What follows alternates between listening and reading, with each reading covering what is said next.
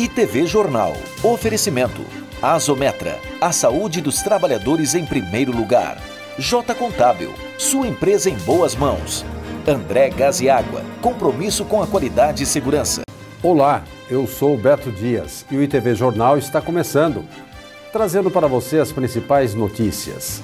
E na edição de hoje você vai ver.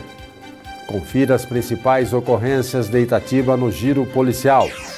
Itatibense retorna de intercâmbio da NASA com premiação. E mais, extrema pobreza caiu pela metade nos últimos dois anos. O seu ITV Jornal está começando.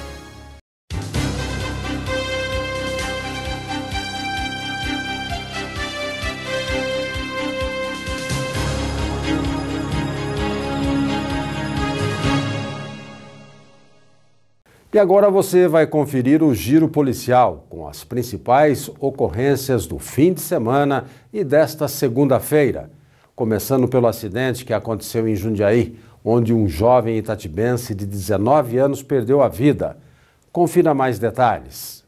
Começamos este giro policial falando de um jovem de Itatiba que morreu após um acidente de moto na cidade de Jundiaí. O acidente aconteceu na rodovia João Cerezer, embaixo da rodovia Vereador Geraldo Dias. Por motivos que ainda não foram divulgados, pois o caso segue sendo investigado, Vitor Gabriel Conde Gaia, de 19 anos, teria perdido o controle da direção da sua motocicleta e acabou batendo nas defesas metálicas que ficam na pista sentido a rodovia Engenheiro Constâncio Sintra para ter acesso à via Anhanguera.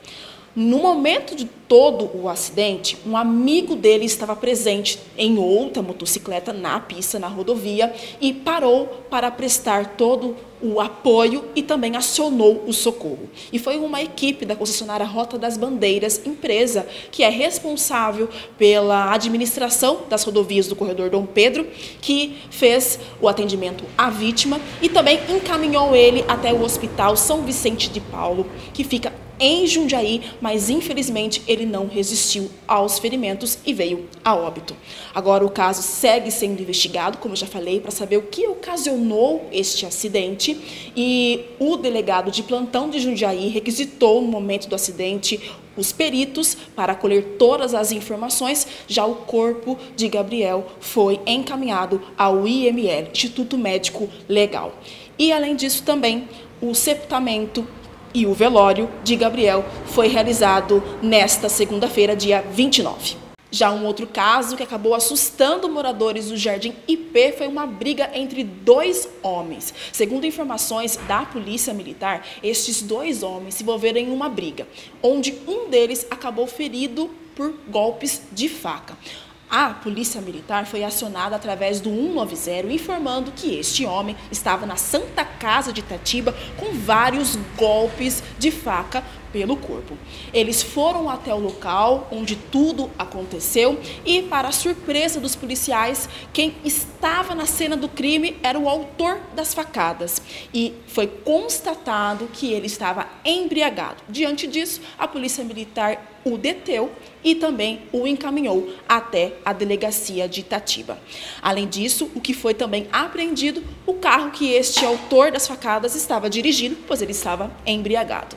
E agora o caso segue sendo investigado para saber o porquê desta briga. Vai. Também neste fim de semana, uma farmácia de Itatiba foi alvo de assalto. E por motivos de segurança, não podemos divulgar nem o nome do local e nem o endereço onde tudo aconteceu.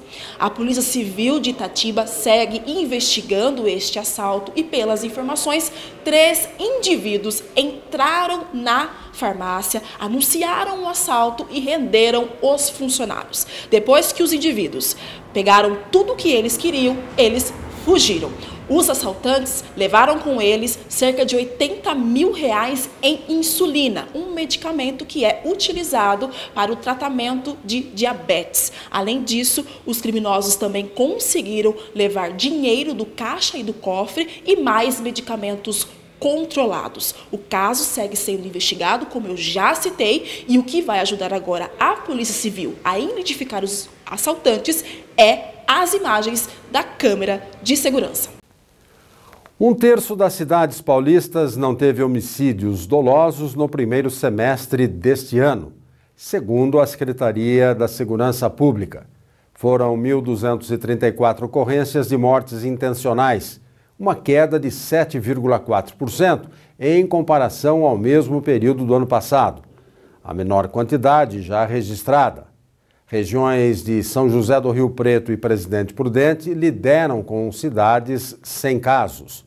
O programa SP Vida é o painel de homicídio da Polícia Militar e ajudam a mapear e prevenir esses crimes, visando maior transparência e segurança.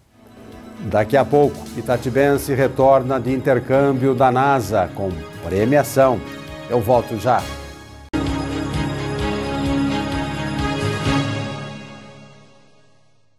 Estamos de volta com uma dica especial para você.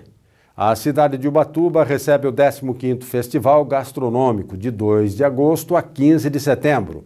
O evento conta com mais de 80 restaurantes e 12 produtores locais, destacando a culinária caiçara. Haverá degustações, palestras e concursos de receitas com chefes renomados. O festival também promove a gastronomia sustentável e a valorização dos ingredientes locais contribuindo para a economia e preservação cultural de Ubatuba, conhecida por suas 102 praias e atrações para todos os gostos. No início deste mês, a nossa equipe visitou o jovem estudante Leonardo Lauria, de 17 anos, para saber sobre o intercâmbio que ele iria participar nos Estados Unidos. Na verdade, ele conheceu a NASA e, depois de dias de viagem, em uma das maiores experiências da sua vida, Leonardo contou para a repórter Letícia Benedito como foi o intercâmbio e a sua participação rendeu até medalha. E novamente a ITV Brasil está na ETEC, Rosa Perrone Scavone e ao lado do Leonardo, uma figura muito conhecida nossa aqui da ITV, já esteve participando de outra reportagem, justamente para contar sobre a sua ida à NASA nos Estados Unidos. E agora a gente vai conversar com ele da volta, porque ele já está aqui conosco no Brasil e voltou de Houston com medalha. Sim. Que orgulho, Leonardo. Parabéns, primeiramente, por ter tido esta brilhante ideia e iniciativa de ir e também por ter se empenhado muito e conseguiu aí a medalha, a sua colocação e ele vai contar agora para nós como que foi essa experiência, que você já me disse que a expectativa era muito alta e eles ainda conseguiram superar com todas as experiências que você teve lá. É isso mesmo, Léo? Ah, foi exatamente assim. Eu estava com expectativa lá em cima, mas assim, mas mesmo assim, quando eu cheguei, superou tudo. Foi uma experiência incrível, realmente. Assim que eu cheguei, eu estava bem nervoso, né? Até porque é outro idioma, tal. E mas foi tudo tranquilo e eu consegui realmente é, extrair o meu melhor ali, dar o meu máximo ali para trazer a medalha. Bom, vamos falar então agora uma questão. Você saiu daqui do Brasil antes do feriado, né? No feriado, na verdade, foi para lá. E como que foi então a sua estadia? Conta pra gente detalhes de como que foi. Você visitou vários lugares, universidades, até chegar de fato na NASA para poder participar dos projetos. Assim, assim que a gente chegou, nós fomos direto pro hotel, porque tinha tido um furacão, então as coisas estavam meio complicadas, mas a gente foi direto pro hotel que a gente conseguiu. E é, nós visitamos a Rice University, que é uma universidade muito conceituada lá em Houston, é uma universidade ótima. Visitamos é, o Museu de Ciências Naturais, que é maravilhoso, tem vários andares, é incrível. Visitamos também o zoológico de Houston, o aquário, e isso foi uma experiência, foram experiências maravilhosas que eu vou guardar para sempre, né? Até porque ajudou no social. Eu pude conhecer pessoas maravilhosas lá também. Perfeitamente. E lá na NASA você participou de projetos, né? De competições, é isso mesmo, né, Leonardo? E trouxe medalha. Que legal. Eu ganhei é, o primeiro lugar no lançamento de foguete e primeiro lugar na programação do rover. E aí, no contexto geral, eu ganhei segundo lugar de todas as equipes de lá. Ótimo. E lembrando que, as, que a equipe que você participou é composta por pessoas brasileiras também, né? Sim, éramos quatro brasileiros num, né, num, é, competindo com ingleses e asiáticos. Bom, e agora a gente vai conhecer então também um pouco do laboratório de robótica que você participa dentro da ETECA, que deu toda aí a sua a base para você, obviamente, com a sua capacidade, com o seu empenho, porque quem faz a escola é o aluno, né? É, mas tem aí todo o suporte dos professores para que você conseguisse, né, Léo, é, ter esse conhecimento e nos orgulhar e muito lá nos Estados Unidos. Então, a gente é um polo de robótica, né, do Centro Paula Souza desde 2013, né, no caso eu sou coordenador do polo, né? Uh, a gente participa de Olimpíadas, competições que são propostas pelo, pelo Centro Paula Souza, mas também participamos de Olimpíadas ou competições que sejam também de interesse dos nossos alunos, né? Então a gente é, proporciona tanto equipamento, material, uh, temos 10 professores, né? Que atuam como voluntários no polo de robótica também, né? Então todos nós fazemos esse trabalho de forma voluntária, né? E orientamos eles. Então eles chegam com a situação, ah, a gente quer participar, então a gente encara. Temos impressora 3D, temos uh, uma série de materiais eletrônicos, laboratório de eletrônica, uh, professores que já são mais especialistas em área de programação. Então a gente assiste tudo isso uh, junto deles, né? Leonardo está no último ano do ensino médio. O sonho agora é ir para a universidade e se especializar na área da saúde para ajudar mais pessoas. Mas durante todo o seu período dentro do colégio, ele sempre se destacou, sendo um aluno aplicado e focado. Um orgulho para os professores. É, nós nos sentimos muito orgulhosos. É, nós sabemos, né, são, foram 40 alunos do Brasil todo, é, competindo com outros do mundo, e saber que o nosso aluno, que foi formado aqui, que esteve aqui com a gente durante esses três anos, é, conseguiu estar em primeiro lugar numa das competições e num segundo lugar no panorama geral, nos deixa muito felizes e também é um norteador para a nossa prática em sala de aula. Né? Saber que nós estamos acertando, que nós estamos auxiliando nesse incentivo e que o trabalho que tem sido sido feito aqui dá resultado, nesse, principalmente para esses alunos que são extremamente aplicados. Ocorre neste sábado, dia 13 de agosto, o segundo Café Paliativo Integrativo, organizado pelo Grandac. O evento será das 9 às 12 horas no Hub do Anchieta, em Jundiaí, abordando temas de cuidados paliativos através de discussões de casos clínicos e participação ativa da plateia destinado principalmente a profissionais e estudantes de saúde. A inscrição é gratuita pelo Simpla, com opção presencial ou online. E depois do intervalo, extrema pobreza caiu pela metade nos últimos dois anos. Voltamos já.